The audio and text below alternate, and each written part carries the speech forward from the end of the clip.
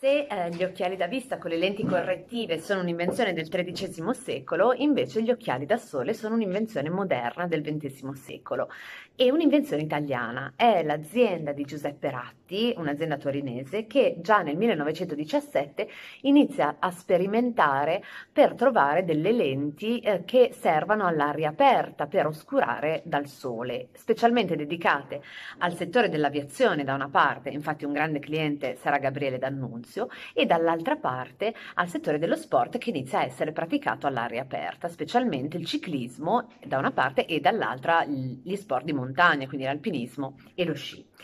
Nel 1927, poi nel 1937, questa uh, sperimentazione porta al risultato del brevetto di una lente giallo-brunata con un cristallo colorato in massa e poi uh, nel 1937 appunto ha uh, delle asticelle confortevoli che abbiano uno snodo particolare dietro alle orecchie con il brevetto Meflecto. ed è nel 1938 con questa invenzione che nascono gli occhiali Persol per sole, che hanno queste caratteristiche principali, eh, appunto, dicevo, al di là delle, delle aste riconoscibili e, e, particolarmente confortevoli, hanno eh, questo snodo sul ponticello, anch'esso eh, brevettato, è il Victor Flex,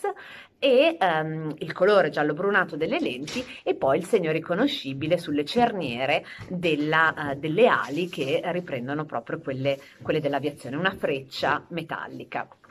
Eh, il, l'occhiale è inizialmente appunto usato nel mondo dello sport e dell'aviazione, un occhiale militare proprio come i Ray-Ban Aviator dello stesso anno del 1938 e poi passa a essere invece l'occhiale del cinema. Quindi grandi attori eh, da Steve McQueen nella Grande Fuga del 1963 per poi arrivare a Mastroianni in eh, Divorzio all'italiana.